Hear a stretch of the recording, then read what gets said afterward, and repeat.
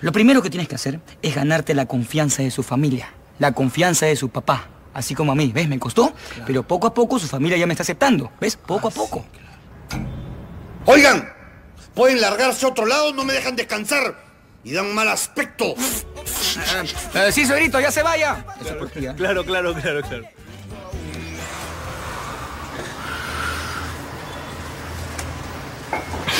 Joel tiene razón. Tengo que ganarme a su papá.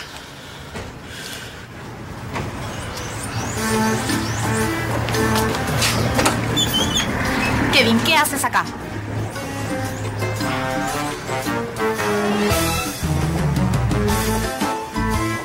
Son para ti.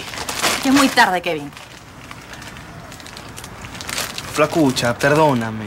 Eres un tonto. Sí, sí, sí, yo lo sé. Pero te juro que nunca más le vuelvo a hacer caso a la señora Berta. No me refiero a eso. ¿Por qué tuviste que hablar con mi papá? Yo pensaba regresar contigo, obviamente, pero te quería hacer sufrir un poco. ¿Vas a regresar conmigo? No, ya no se puede. ¿Por qué? Por mi papá, pues él te odia. Qué bien la fregaste. ¿Por qué tenías que hablar con él? Ya no quiere ni que te vea. Pero ya, ya se le va a pasar. No se le va a pasar, yo lo conozco. Es más, cuando se molesta es como... Es como Rambo. ¿Cómo va a ser como Ramón? No sé.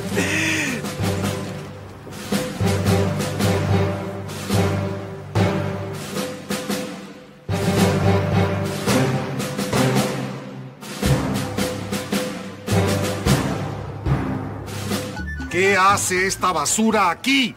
Papá, ya se iba. Sí, ya me iba, señor. Y esas flores no serán para mi hija, ¿no? No, son para, para, para la tumba de mi abuelito. De acá me, me voy al, al, al cementerio del Ángel a, a- a visitarlo, pues. ¿Y qué esperas para irte? ¿O quieres hacerle compañía?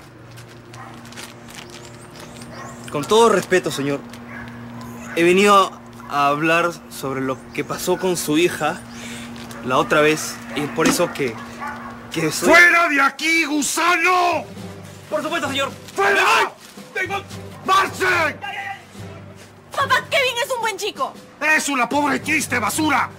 Pero a mí me gusta. ¿Qué cosa? ¡Diez ranas! Papá, ¿qué tienes? ¡Ya ves, este chico me saca de quicio!